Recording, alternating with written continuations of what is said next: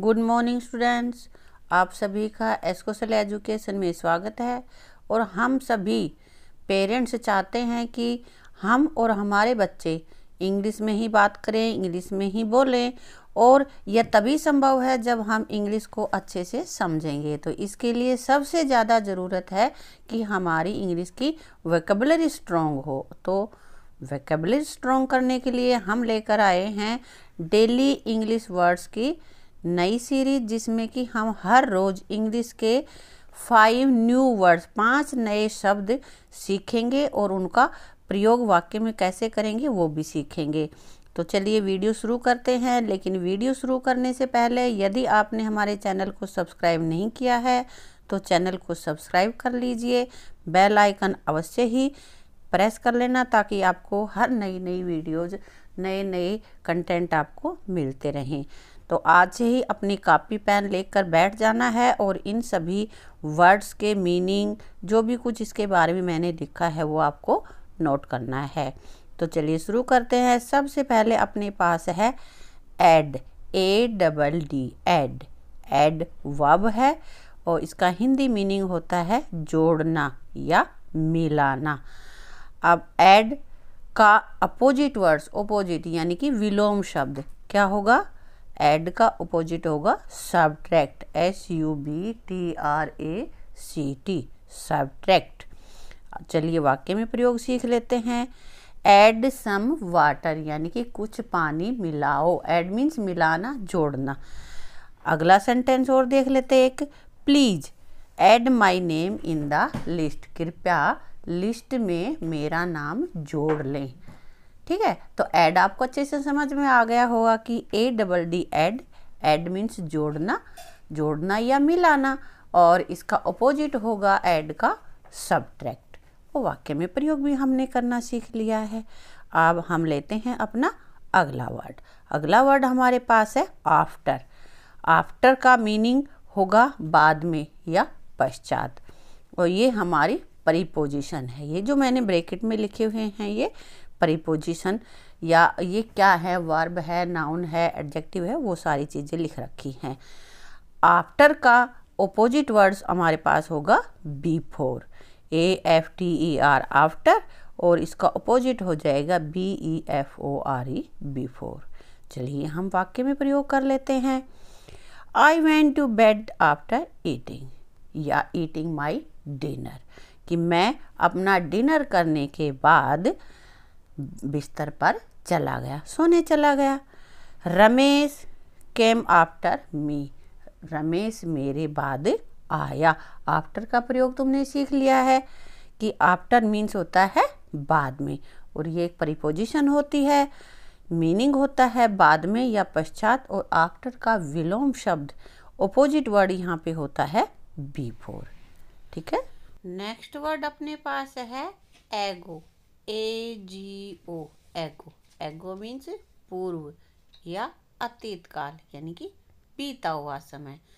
और एगो एडवर्ब है। और एगो का अपोजिट वर्ड्स होगा हेयर आफ्टर एगो मीन्स पहले। अब से पहले जो समय हो लिया। और हेयर आफ्टर का मतलब होता है आगे आने वाला जो समय होगा। एगो का ओपोजिट वर्ड अपने पास होगा हेयर आफ्टर चलिए इसकी सेंटेंस बनाकर देखते हैं। दे वेंट फाइव मिनट्स एगो कि वे पाँच मिनट पहले चले गए। तो एगो मीन्स पहले। He was killed a few days ago वह मारा गया कब? कुछ दिनों पहले। फ्यू डेज़ एगो तो एगो के ये हमने सेंटेंस बना लिए हैं और एगो मीन्स होता है पहले। ये एडवर्ब है और एगो का अपोजिट वर्ड्स होता है हेयर आफ्टर तो हमने जान लिया एगो को। नेक्स्ट वर्ड हमारे पास है able A B L E able able means योग्य, समर्थ। एबल मीन्स योग्य या समर्थ। और ये हमारा एडजेक्टिव है। अब एबल का अपोजिट वर्ड्स होता है अनेबल एबल मीन्स योग्य होना और अनेबल योग्य नहीं है। तो चलिए देखते हैं, इनका सेंटेंस बनाते हैं। Ram is not able to work properly Ram काम वॉक प्रॉपरली वॉक मीन्स चलना, जाना। तो राम चलने में, अच्छे से चलने में असमर्थ है कि यानी कि चलने में एबल नहीं है समर्थ नहीं है। नेक्स्ट अपना देखते हैं sentence Sangeeta is not able to do this work. Sangeeta, यह काम करने में समर्थ नहीं है। काम करने के योग्य नहीं है। तो हमने जाना able.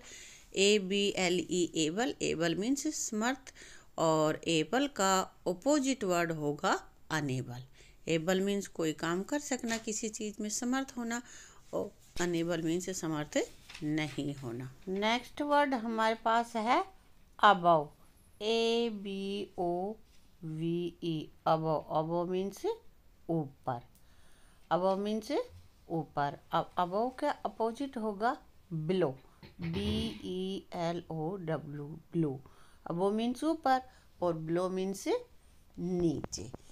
अबो हमारा एडजेक्टिव है। अब देख लेते हैं इसके वाक्य में प्रयोग। तो सेंटेंस कैसे बनाएँगे? The plane flew above the clouds हवाई जहाज़ क्लाउड्स के बादलों के ऊपर उड़ रहा है, उड़ा, बादलों के ऊपर उड़ा। अगला सेंटेंस देखते हैं। Put your hands above the table अपने हाथ टेबल के ऊपर रखो मेज के ऊपर रखो। अबो मीन्स हो गया ऊपर। तो अबो मीन्स ऊपर एडजेक्टिव है और इसका अपोजिट वर्ड होगा ब्लो ऊपर, नीचे। ठीक है? तो ये थे आज के पाँच सेंटेंस नेक्स्ट वीडियो में पढ़ेंगे अगले पाँच सेंटेंस और ये सीरीज़ हमारी चलती रहेगी। तो आपको आज से ही अपनी एक नोटबुक बना लेनी है, उसमें सारे words words meaning opposite words और सेंटेंस जो कुछ भी इस वीडियो में मैंने बताया है, वो आपको नोट करना है और उसको अच्छे से लर्न करना है। वीडियो अच्छी लगी हो तो वीडियो को लाइक कर देना शेयर कर देना ताकि अधिक से अधिक और बच्चे भी इसका फ़ायदा उठा सके और वो अपनी वैकेबलरी स्ट्रोंग कर सके, अच्छे से इंग्लिश सीख सके।